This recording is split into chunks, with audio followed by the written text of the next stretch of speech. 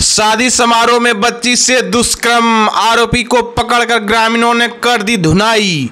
सारठ मानवता को संसार करने वाली एक घटना सामने आई है। बता दें कि एक छः वर्षीय बच्ची के साथ आरोपी सारठ निवासी टुनटुन शाह बत्तीस वर्ष द्वारा दुष्कर्म के वारदात को अंजाम दिया गया है। घटना के संबंध में बताया जाता है कि गत रात्रि को थाना क्षेत्र स्थित सारठ के एक घर में शादी समारोह का आयोजन था, जिसमें इसी थाना क्षेत्र के दूर के रिश्तेदार भी शादी समारोह में शामिल होने पहुँचा था।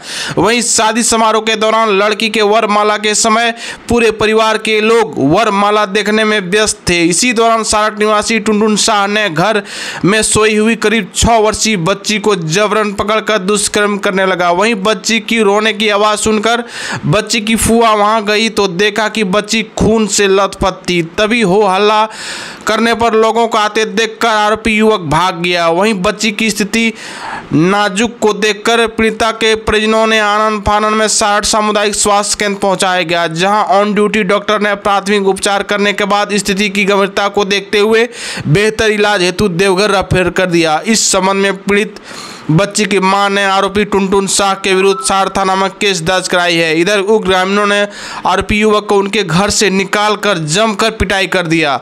इसी दौरान किसी ने पुलिस को घटना की सूचना दे दिया। सूचना मिलते ही आनंद फानन में थाना प्रभारी शैलेश कुमार पांडे पुलिस दल बल के साथ घटनास्थल पर पहुंचकर भीड़ के चुंगल से आरोपी युवक को निकालकर थाना ले गया और पुलिस ने त्वरित कार्रवाई करते हुए आरोपी को मेडिकल जाँच करते हुए न्यायालय के आदेश पर जेल भेज दिया है।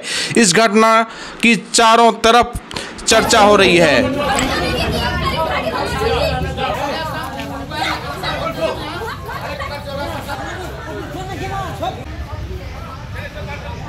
Come